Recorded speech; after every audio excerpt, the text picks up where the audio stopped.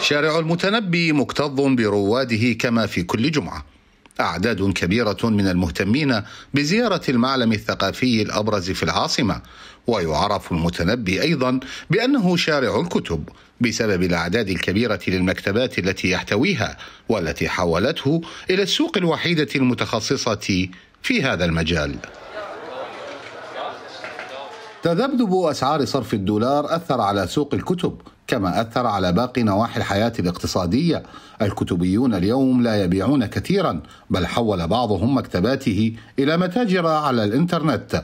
فدور النشر قررت تقليص مطبوعاتها مع الركود الاقتصادي الواضح وارتفاع أسعار الطباعة والورق. كثير من دور النشر آه، قلصت آه، صرفياتها أو مثلا المخازن قللت أعدادها.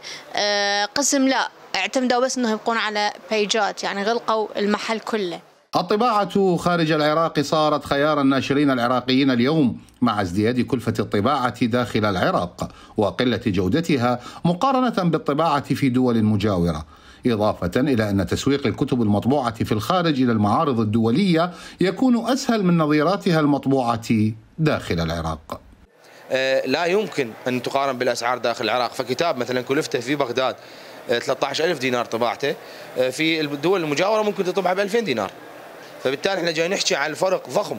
لا يمكن يعني أنا صاحب عمل أروح أطبع داخل العراق وأخسر هذا المبلغ الهائل اللي ممكن أطبع به خمس أو ست كتب. تراجع الإقبال على شراء الكتب لم يؤثر على الحركة في شارع المتنبي الذي لم يعد شارعا للكتب فحسب بل تحول إلى وجهة سياحية ثقافية للآلاف من بغداد والمحافظات. حيدر البدري يو تي في بغداد.